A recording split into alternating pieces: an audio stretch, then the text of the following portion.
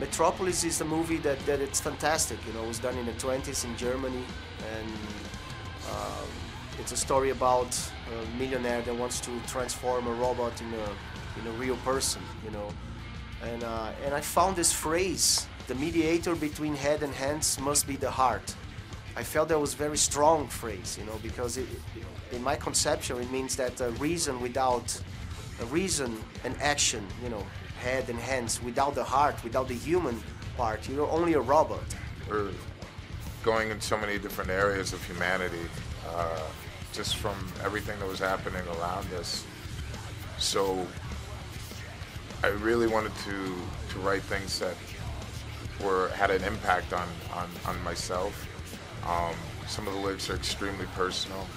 Um, some are about uh, nature, some are about politics, some are about just the surrounding uh, environment that was happening over the, the, past year and what had been going on at the time. Uh, there's a song about there was a song that was written uh, the Vatican that was written during when the Pope was nominated. Uh, there was a song Tsunami, which is primarily a song about nature, just kind of wiping everything out and, and really not being able to do anything about it, the power of it.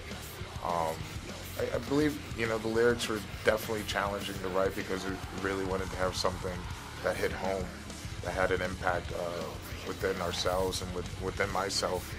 Uh, and so, you know, I set out to do that. Even things I didn't truly like about certain things are happening where I necessarily don't like but needed to be said. Um, also, decline of many things in humanity and, and, and morals and, and, and, every aspect uh, within ourselves. You know, not I'm not just pointing, wasn't pointing fingers. I was looking at things that I didn't like about myself as well that I wanted to write about.